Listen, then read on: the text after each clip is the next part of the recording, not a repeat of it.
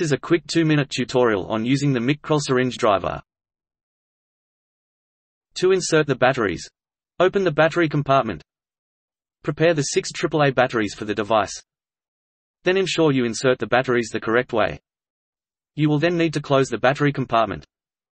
The pump is then ready to be configured for its intended use. Fully charged batteries should last about 30 hours. Remove the syringe in place. Then press the plunger down to move the driver back.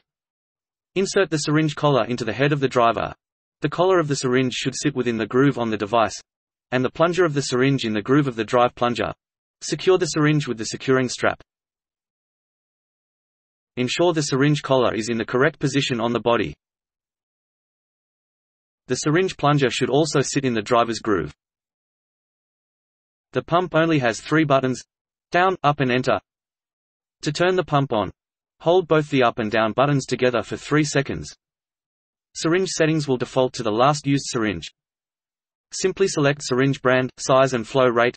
Press enter to confirm if the syringe is the same size and brand as before. Change the syringe brand by pressing the up arrow. If needed, settings can be locked to use only one manufacturer syringe brand and size through the configuration menu. Change the syringe size after you have selected the syringe brand.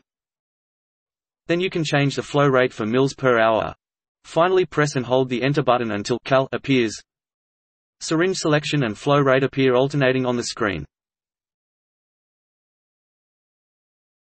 While the pump is infusing, a bolus dose can be administered. Press and hold the enter button then press the up arrow once. 8D appears on the screen with the dose of the bolus to be infused. The bolus is being delivered and its dose is displayed. To stop infusion and switch off the device, press and hold both the up and down arrows. For more information on the device, check the website micrel.com.au.